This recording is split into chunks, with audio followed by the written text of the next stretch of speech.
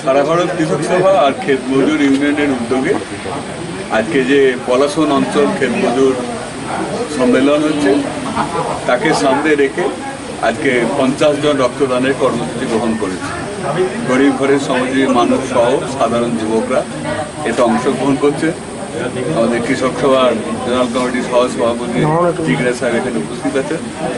গোটা গ্রাম, গোটা অঞ্চল প্রবল উৎসাহ নিয়ে এই কর্মসূচিতে অংশগ্রহণ করছে।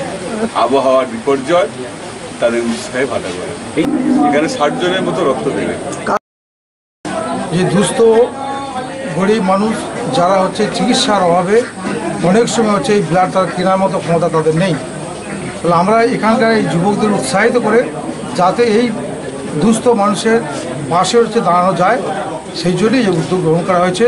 সারা ভারত খেতমজুর ইউনিয়ন পড়াশোনা অঞ্চল এর তরফ থেকে।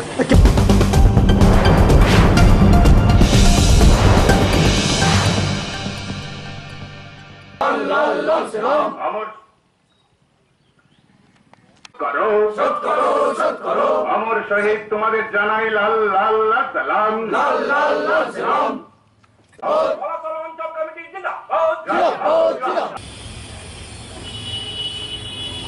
বসুন।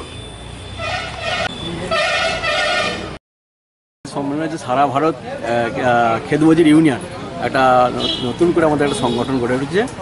আগে কৃষক সভা ছিল, সেই কৃষক সভার পর আমাদের আমাদের খেত মজুরদের দাবি দাবা নিয়ে আজকে পরিস্থিতিতে সারা ভারত খেত মজুর ইউনিয়নের সম্মেলন হচ্ছে, পলাশন অঞ্চলে এই গ্রামে। এটা ধারানে হচ্ছে আমাদের, এটা ধারান বাস স্ট্যান্ডে।